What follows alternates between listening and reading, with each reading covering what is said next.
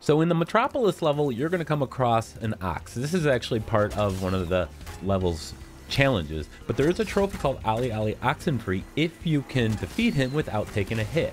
So basically you're going to have to use your flame to redirect the bombs back at him.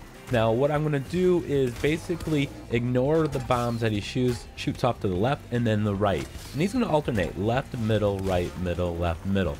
So I'm ignoring the ones he shoots off to the side and skating around trying to line up a good redirect position when he fires it in the middle. Again, it's left, middle, right, middle, and so on.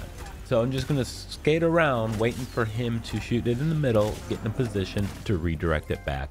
If you defeat him without taking any hits, you will earn the Olly Olly Oxen Free trophy. Of course, you'll get an orb for completing the challenge whether you take a hit or not. So thanks for watching. See you soon.